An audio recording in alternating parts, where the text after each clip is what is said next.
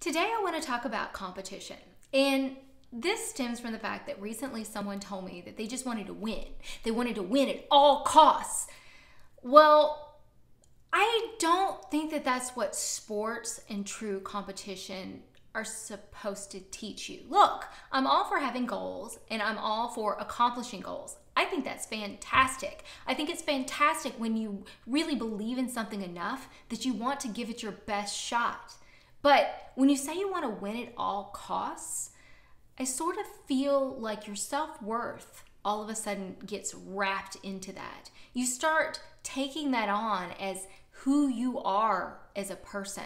And the fact of the matter is, if all you're looking to do is win, then that means you're also not caring about the other people that are around you.